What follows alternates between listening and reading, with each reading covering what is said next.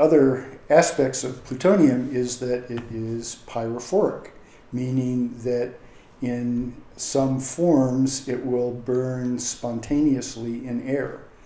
So there were hundreds of fires at Rocky Flats over the years, over during its production period.